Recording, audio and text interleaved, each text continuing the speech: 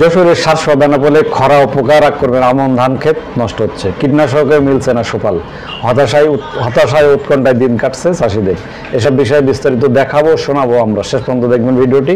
সাথে থাকবেন আমাদের। চলুন, দেখে আসি শুনে আসি বিস্তারিত।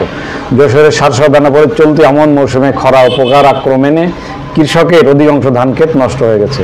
কীটনাশক দিয়েও সুফল পাচ্ছে না চাষিরা। ধানের পাতা শুকিয়ে হলুদ বর্ণ হয়ে মরে যাচ্ছে। ধানের শেষ শুকিয়ে চিটা হয়ে যাচ্ছে কৃষকের আমন ক্ষেত। ফলে হতাশ কোনটায় দিন কাটছে চাষিদের। যশোরের সারসহায় খরা যশোরের সাতশো বেনাপোলে খরা পোকার আক্রমণে আমন ধান ক্ষেত নষ্ট হচ্ছে। কীটনাশকও মিলছে না সুফল। হতাশায় উৎকণ্ঠায় দিন কাটাচ্ছে চাষিরা। এসব বিষয়ে বিস্তারিত দেখাবো, জানাব, শোনাবো আমরা। শেষ পর্যন্ত দেখবেন ভিডিওটি। সাথে থাকবেন আমাদের। চলুন, দেখে আসি ও শুনে আসি বিস্তারিত। যশোরের সাতশো বেনাপোলে চলতি আমন মৌসুমে খরা পোকার আক্রমণে কৃষকের অধিকাংশ ধান ক্ষেত নষ্ট হয়ে গেছে। কীটনাশক দিয়েও মিলছে না সুফল। সুফল পাচ্ছে না চাষিরা। যশোরের সারসা বেনা বলে পোকার আক্রমণে নষ্ট হচ্ছে আমন ধান ক্ষেত। কীটনাশক দিয়েও সফল পাচ্ছে না চাষিরা। যশোরের সাতশো বেনা বলে খরা পোকার আক্রমণে নষ্ট হচ্ছে আমন ধান ক্ষেত কীটনাশকেও মিলছে না সুফল। ফলে হতাশায় উৎকণ্ঠায় দিন কাটাচ্ছে চাষিরা। এসব বিষয়ে বিস্তারিত দেখাবো, জানাব, শোনাবো আমরা। শেষ পর্যন্ত দেখবেন ভিডিওটি। সাথে থাকবেন আমাদের। চলুন, দেখে আসি, শুনে আসি বিস্তারিত। যশোরের সাতশো দানা বলে চলতি আমন মরশুমে খরা উপকার আক্রমণে কৃষকের অধিকাংশ ধান ক্ষেত নষ্ট হয়ে গেছে। কীটনাশক দিয়েও সুফল পাচ্ছে না এসব চাষিরা। ধানের পাতা শুকিয়ে হলুদ বর্ণ হয়ে মরে যাচ্ছে। ধানের শীষ শুকিয়ে চিটা হয়ে যাচ্ছে।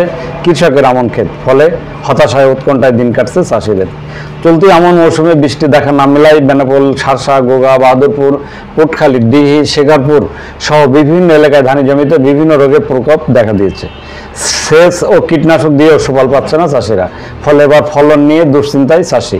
তবে ধানের বিভিন্ন সমস্যা চিহ্নিত করে কৃষকের পরামর্শ সহযোগিতা দিচ্ছেন কৃষি বিভাগ।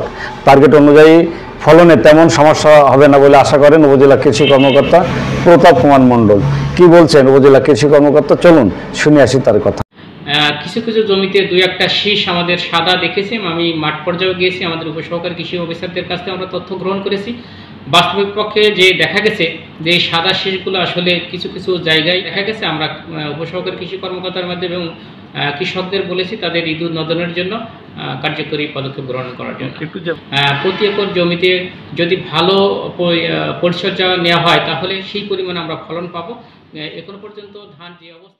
হ্যাঁ ভিউয়ার্স আমাদের এই ভিডিওটি কিছুটা হলেও যদি ভালো লাগে জানান লাইক ও কমেন্টস করে। এবং কৃষি সংশ্লিষ্ট বা কৃষি কর্মকর্তাদের ঊর্ধ্বতন কর্তৃপক্ষের দৃষ্টি আকর্ষণে এই ভিডিওটি বেশি বেশি শেয়ার করুন। আর আমাদের চ্যানেলটিতে আপনারা যদি নতুন হয়ে থাকেন, তাহলে এখনই করে নিন সাবস্ক্রাইব কারণ সাবস্ক্রাইব করা থাকলে সবার আগে পেয়ে যাবেন নিত্য নতুন ও আপডেট খবর। ভালো থাকবেন, সুস্থ থাকবেন, সুন্দর থাকবেন। সবুজ সুফল, সুন্দর দেশ বাংলাদেশ। ফসলে ভরে উঠুক। এই দেশ আশা আমাদেরও।